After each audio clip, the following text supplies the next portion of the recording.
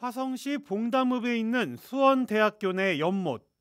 지난 5일 물속에서 머리카락 등 사람의 형체가 나타났습니다.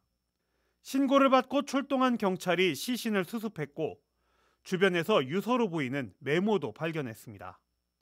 50대 여성으로 추정되는 시신은 부패가 진행되지 않았고 외상 흔적 등의 범죄 혐의점도 없었던 것으로 알려졌습니다. 다음 날인 6일엔 수원 광교에서 여성이 숨진 채 발견됐습니다.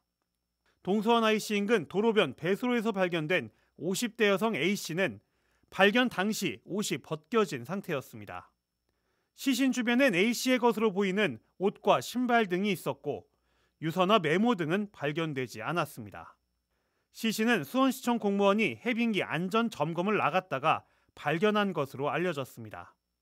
경찰은 A씨의 몸에서 옅은 멍자국 등이 발견됐다며 타살은 물론 지병으로 인한 사망 등 모든 가능성을 열어두고 수사에 착수했습니다. 아울러 정확한 사망 원인을 파악하기 위해 국립과학수사연구소에 부검을 의뢰했다고 밝혔습니다.